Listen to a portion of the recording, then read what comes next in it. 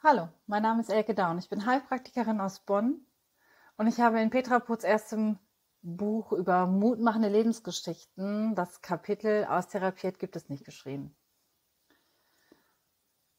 An dieser Stelle möchte ich heute das eine oder andere dazu erzählen, denn ich bin sehr, sehr dankbar.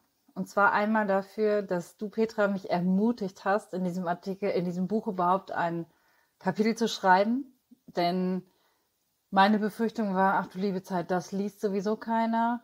Und oh mein Gott, wen interessiert denn meine Story? Wie viel Mut kann ich schon in die Welt bringen mit meiner Geschichte?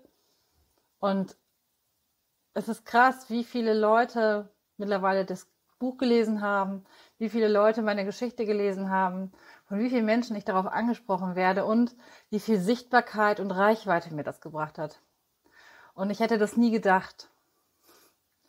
Und ich möchte an der Stelle dir Mut machen, wenn du Lust hast oder darüber nachdenkst, auch in diesem Buch mitzuschreiben oder schon gesagt hast, hey, hm, könnte ich mir vielleicht vorstellen, aber ich habe Schiss.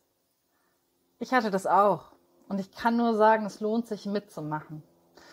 Und auch nochmal an der Stelle vielen, vielen Dank, Petra, für deine unermüdliche Arbeit, für dein mich hinter meiner, aus meiner Komfortzone herauszerren und hätte ich vorher gewusst, dass es so viel Spaß macht und dass es so viel, ja, Return of Invest, Benefit, Freude macht und vor allen Dingen, was es mir an Reichweite und Sichtbarkeit bringt, hätte ich, glaube ich, keinen Moment gezögert.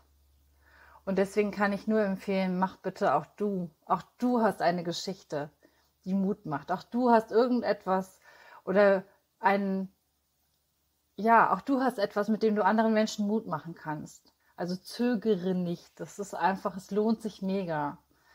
Und genau darum geht es, anderen Menschen Mut zu machen. Danke.